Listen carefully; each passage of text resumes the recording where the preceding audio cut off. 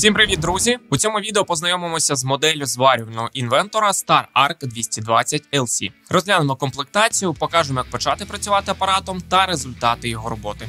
Більш детально про особливості апарату у нашому відеоогляді за посиланням у описі. Почнемо з комплектації. З кожним апаратом в комплекті йде електродотримач, довжина 3 метри, витримує до 250 А. Також клема заземлення або маса, довжина 1,2 метри, витримує до 300 А. Щиток для зварювання, щітка молоток, інструкція з використання та гарантійний талон. Нагадаємо, що апарат працює у двох режимах ММА та ліфтік. Спершу покажемо, як підготуватися до роботи у режимі ММА. Підключимо пальник на плюс та масу на мінус. Зварювати будемо у зворотній полярності. Далі микаємо апарат та перемикаємо налаштування на режим синергії. У цьому режимі вибираємо діаметр електрода. Сила струму буде встановлена автоматично.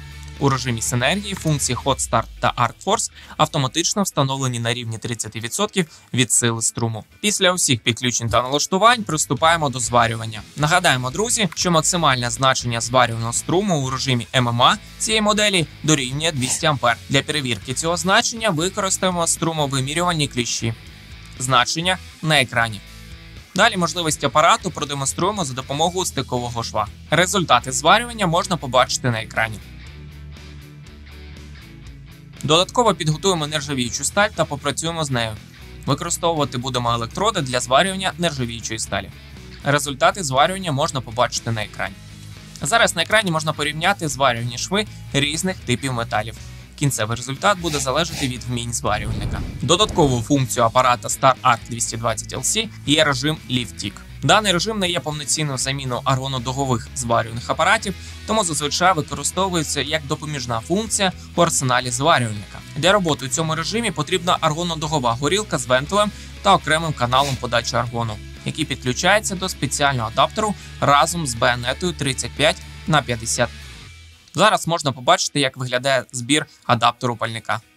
Далі пальник підключуємо у роз'єм мінус, а масу у роз'єм плюс. Зварювати будемо у прямій полярності. Не забуваємо про розхідний матеріал для пальника. Підбираємо вольфрамовий електрод саме під ваш типробіт та гостро заточуємо його. Переходимо до збору пальника.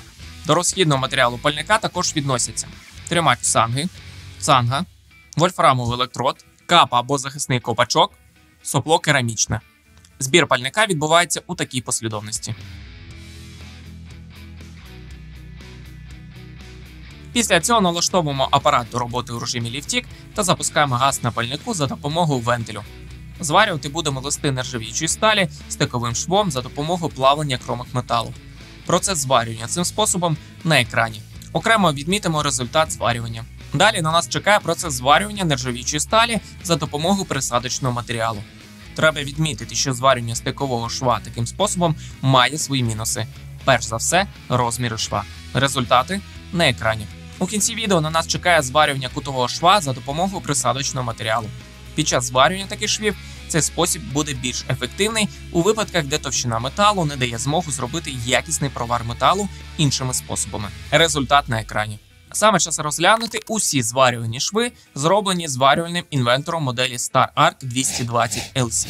Дякую за перегляд цього відео. Бажаємо якісної роботи з апаратом Star Arc 220 LC від торгової марки Megatech. Підписуйся на наш канал та інші соціальні мережі. Будемо раді поспілкуватися та почути ваші думки у коментарях. До зустрічі!